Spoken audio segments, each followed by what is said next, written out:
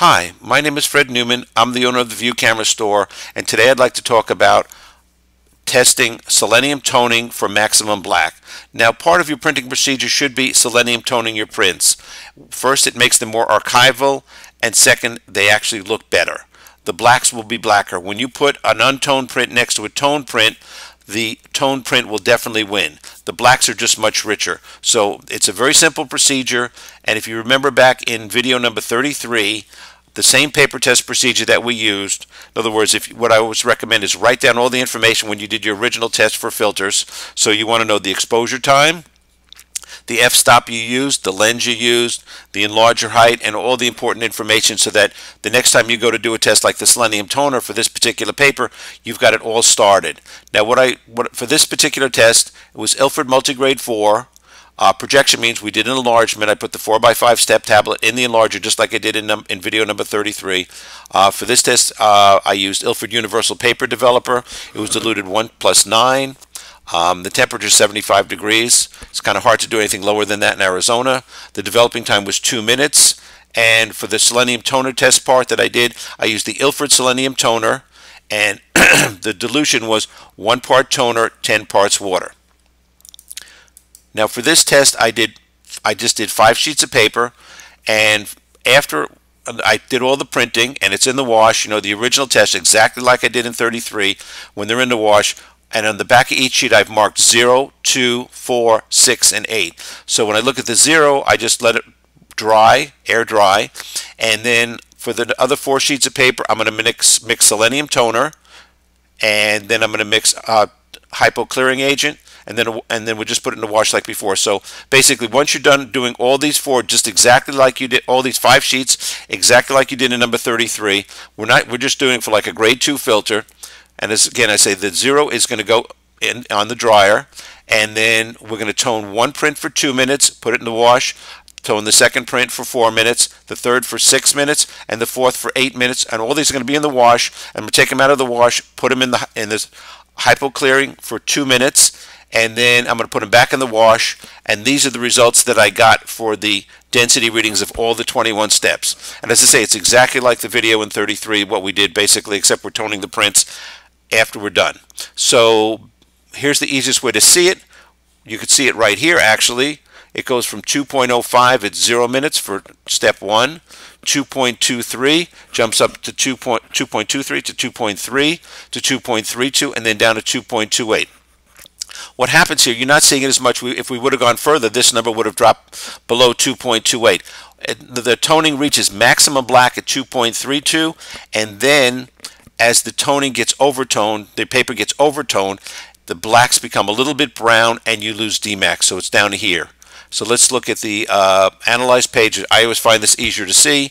So here's all the tests in a summary page here. Now we have the zero and the ID max is 95% of Dmax. So we've got 1.85 and you can watch it jump up 2.02, 2.08, 2.1 and then you'll see it drop down a little bit over here. Now for me, I don't have the patience to be honest for toning for six minutes. So I'm going to do is a second test, a little bit finer gradations in terms of one minute, and we'll see what we get. So this is the start. Sometimes you have to do more than one test to get this. In a minute we'll go on to the next one. Okay, now for my second test, doing the exact same everything as before, same paper, projecting, same developer, same temperature. This time we're diluting the selenium toner one part toner to five parts water.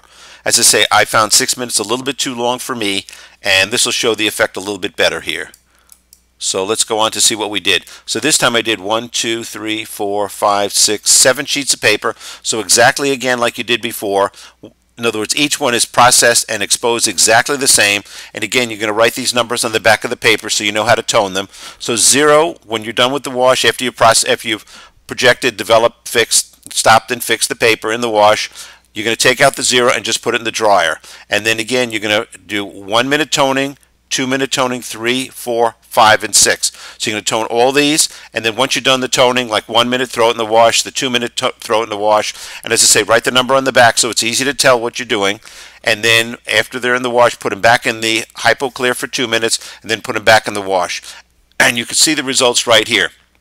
So again, we've got 2.05, 2.26, and then it jumps to 2.31, and you can see it start to decrease now. 2.29, 2.25, 2.24.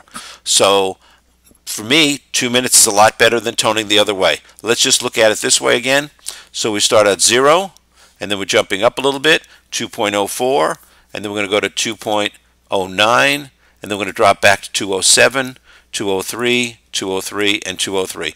So what I found here from this test is when I'm going to print with Ilford Multigrade 4, when I'm done processing, after I make all my prints, and they're in the wash, I'm going to throw out all the chemistry, the developer, the stop, and the fix, mix some fresh hypo, some fresh uh, toner, dilute it 1 to 5, mix some, mix some fresh hypo clearing agent, and then I have my wash next to that. So what I'll do is take all the prints and I'll tone them for two minutes, then I'll put them in the hypo clearing agent for two minutes, and then I'll put them in the wash, and then I'll put them in the archival wash.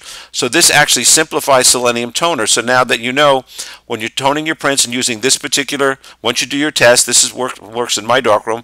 You might want it might be similar in yours, and you'll get exactly the exact number here. So two minutes of toning, two minutes hypo clear, and then you're done. What this basically does is simplify your printing procedure so that everything is cookbook. Just like normal, two minutes in the developer, maybe 10 or 15 seconds in your stop bath, one minute in the fixer using the Ilford procedures with Ilford Hypam, Ilford Rapid Fixer, then throw them in the wash, and then you got cookbook again two minutes in the selenium toner, two minutes in the hypo clear, and then put a little wash, and then put it in your archival wash, and you're done. So this makes printing a lot easier. We can do this through the um, paper testing service that we have, or if you have the Plotter program, you can do the testings on your own. But it's a great way to just simplify your printing, get better results on your printing, and it's not a lot of work to do. I hope this helps. I will do one on the Ilford Multigrade Warm Tone uh, following this. Thank you for watching. I hope it helped you. Bye.